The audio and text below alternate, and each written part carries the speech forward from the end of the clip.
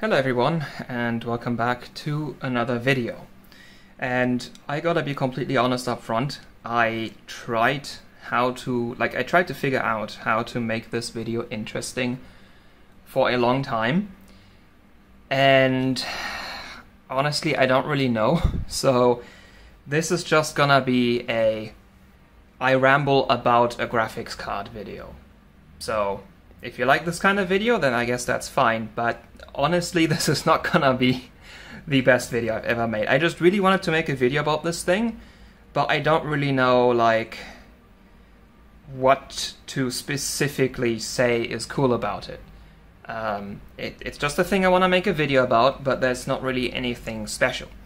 Um, because we've seen this before. This right here is a GTX 1070. This is not the 1070 you've seen before. It is just a completely identical one that I now also have. Here's the proof.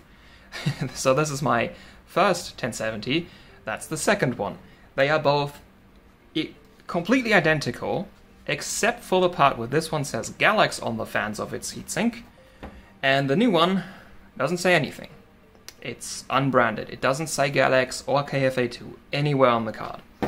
And as far as I know, that's because this card came out of a pre-built, uh, which uh, yeah is a pretty typical thing. I think it was Dell who also gets their graphics cards from MSI. Like that, they have a couple cards where like they just have an MSI shroud, but like also without the MSI logo on it. So this is not unheard of that you just get like a card that's an off-the-shelf product and they just remove the branding and stick it into a pre-build. Um, so that's why I think this this doesn't have any stickers on it because they, they were not removed. Like the card actually, I think this card had a pretty easy life.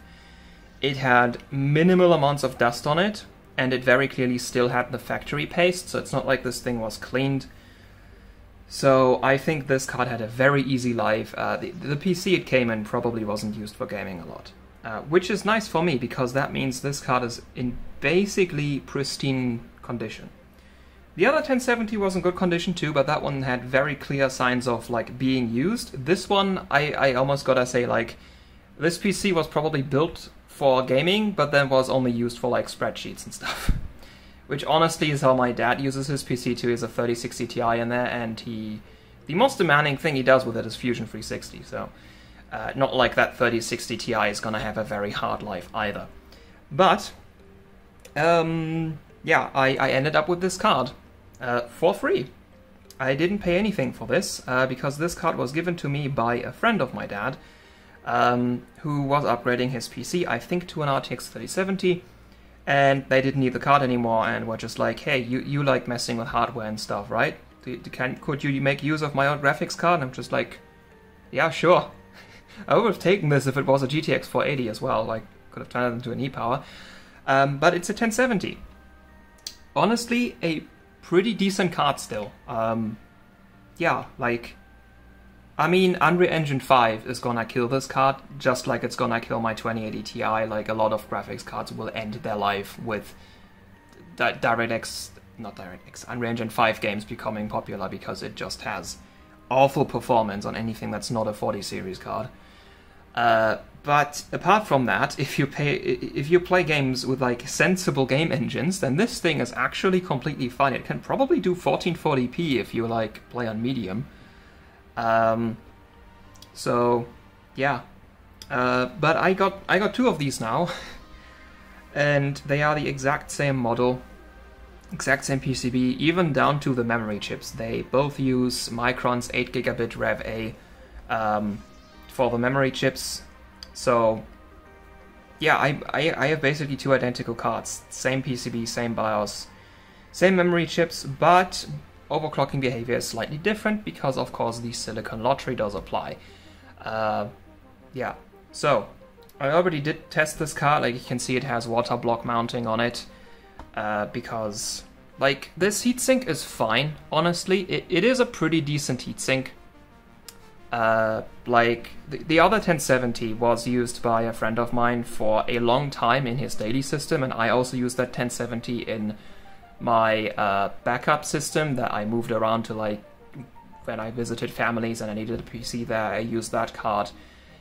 it's a fine heatsink. This can keep the card at like around 60 degrees on the load. The fans don't even get that loud if you put it at full speed. That was a lightning outside. I think a thunderstorm's rolling in. That's gonna be interesting. um, but uh, yeah, like this, the heatsink is fine, honestly. The problem is, the last couple days have been extremely hot here, and this thing just wasn't wasn't cutting it. Um, my oh yeah, that's a fun thunder. I don't know if you can hear that. Um, yeah, so my flat, I don't heat my flat ever. I've used the heater once, and it's currently buried behind the desk that I'm filming this on. I can literally not turn it on if I wanted to, because I don't need to. Because my flat is always extremely warm. Like, my thermometer says it's 30 degrees in here. The windows have been closed all day, my blinds are down. it's 30 degrees in here. Um, now, I don't know if that thermometer is completely accurate, but this flat does get pretty hot, probably because my neighbors just never turn their heating off, which is fine for me. I pay basically no money for heating my flat, which is nice. But it means that if you combine that plus a hot day, uh, I really need to use water cooling, which is fine because the um, water cooling setup I have on my test bench is quite honestly overkill for almost everything. I have two 360 rads, both are push-pull, and one of them is a double thickness rad. That's enough cooling for pretty much anything. Uh, so with water cooling, this was fine. This uh, was like 41 degrees max. And I just ran the card like that. So, as to what the card does. Uh, the memory on it is slightly worse than the first 1070. The first 1070 does a plus 700, this does plus 500. Now, I'm not really too concerned about that because this is using the same Micron chips that Buildzoid had on his um, 1070 Dual from all the way back and he saw some really, really good uh, scaling with voltage on these chips. So I'm thinking cap mods plus a volt mod, and these things are gonna fly. So I'm not really too concerned about slightly weaker memory clocks. What I think is actually the most important here is having a good core. Now, when it comes to the core, the first 1070 was already pretty decent. I have a pretty good track record of getting good Pascal cores. That everyone else is just bad at overclocking them. it could also be a thing. But um, like I know, I know there's 1070s out there that don't do two gigahertz. Like the one at Buildzoid had, he had a really hard time getting it to go over two gigahertz. I also know some other 1070s that just can't do two gigahertz. Um, yeah, so the first 1070, this one, it does 1280, not 1288, 2088 for the core clock just out of the box. It's just dragging the slider up. And if you force the highest power level, uh, I mean, volt power state. Man, I can't talk today.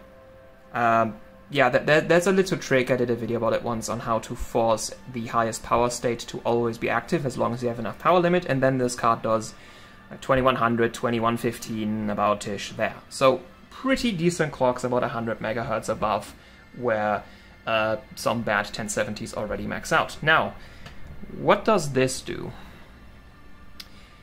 It does 2250.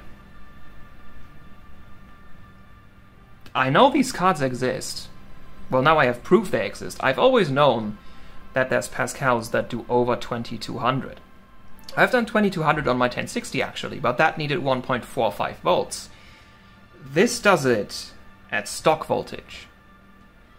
2250. This has an amazing core. Now the problem is, it's really strange on how to get 2250 working because yeah in my pre-testing the first run of pre-testing it did about 2100 and then it would just always insta crash. And then i rebooted it and then it suddenly went further all the way to 2250 and then i crashed it again with too much memory clock and then it was back to 2100 max. Now it's a bit weird. It's potentially due to the BIOS because I saw some weird throttling going on. Uh, it was already power throttling at 200 watts despite the limit being 250.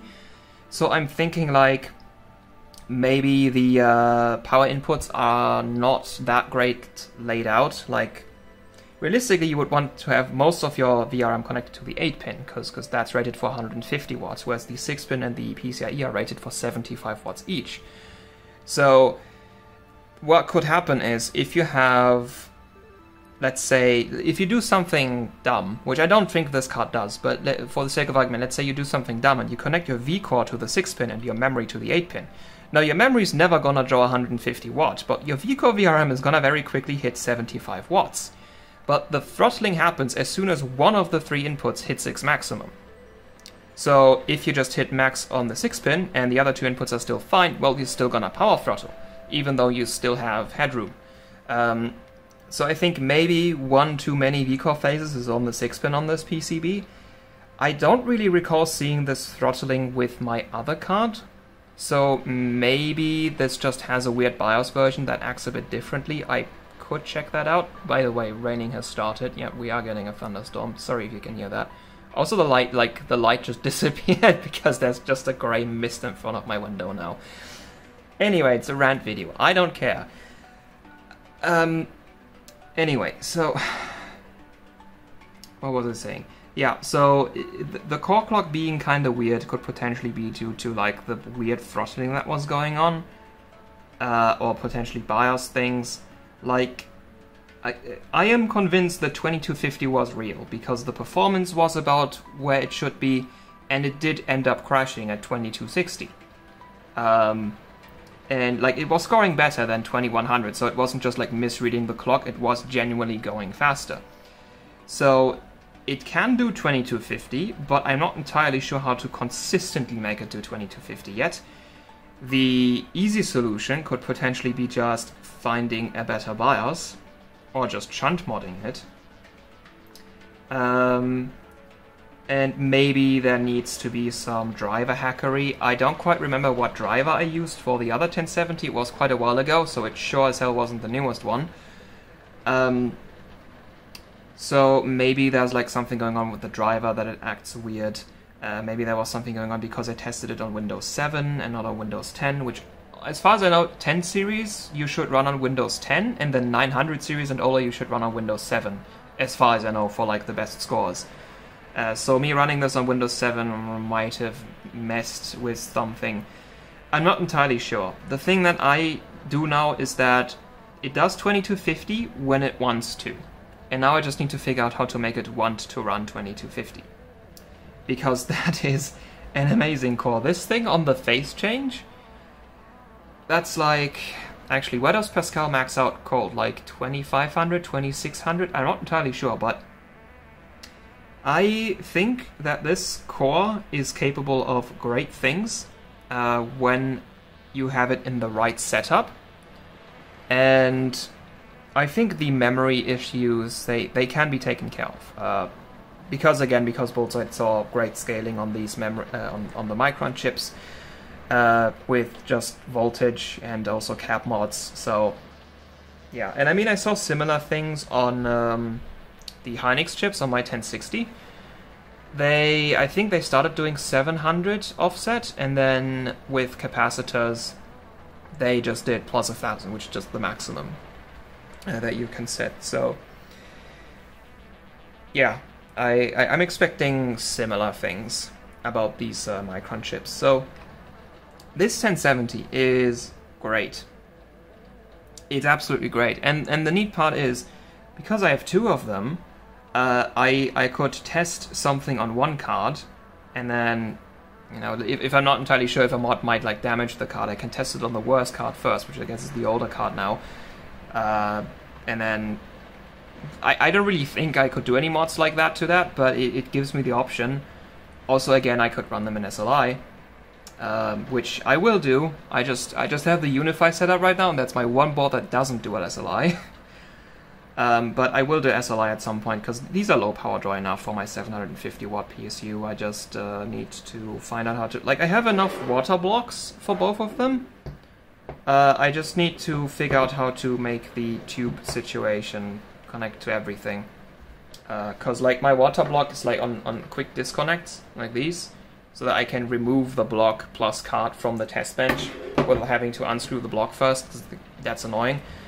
Uh, so mm, I have to see how to hook that up because the other ones have. I, I have two more quick disconnects, but they're different. They're not compatible with the ones I have on the on this test bench. So anyway, um, I can make it work somehow.